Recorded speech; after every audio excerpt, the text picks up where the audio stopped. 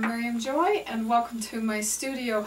A lot of you know that I work with the Dr. P.H. Martin inks. They're permanent inks, they're India ink and I really like these so I'm going to show you how I use these today and they come in a bunch of little ones in a color of a pack and I don't remember if there's 12, 14, or 16 in the pack, but those are a really nice variety pack to start out with till you get used to them and decide what you like. And then they do have bigger individual ones if you have one color that you like. So I'm going to start with my orange and I use them just like I use my other like the leather dyes or anything like that. I like to rub them on. Now this is a darker gourd that I'm demoing on today, so it's not going to show up quite as bright as another one. So maybe I'll reach over and grab another one as well. I went ahead and grabbed a lighter piece just so you can see the, the difference here. And I put two or three coats on, but what is really, really nice is it starts to get this really great shine that you normally wouldn't get unless you varnish. I love the yellow. Let's do a yellow here so you can see how fun this is. And I'm just using cotton rounds that you find up in the makeup section of the store and I just usually pick mine up from the I've used up all my yellow. that was fun.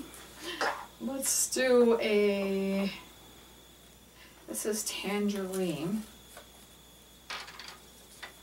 So I need to buy me a big thing of yellow. And what I'm doing is allowing the other one to dry. And I want to show you a red here too. I believe this one is crimson. I can put a couple of layers on for these guys.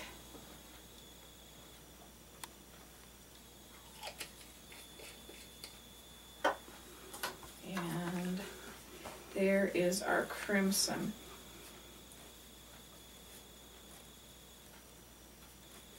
Okay, so you can see how rich that is. So I'm going to go back to my first one and I'm going to do a second coat. Now see how much brighter that's really starting to get now. And let's put a, another coat on our tangerine. And then I want to show you something else I really like to do with my uh, or my um, inks. I will use a darker color. I'm going to use the aqua. And I will come over a part, if I wanted a blue, I might base coat it first with my blue acrylic paint. And so now that I've base coated it with that, I may bring my alcohol inks and I'm folding it in half and just pulling it down on that. And look at that wonderful, wonderful color that you get. And I do that about halfway on my gourd.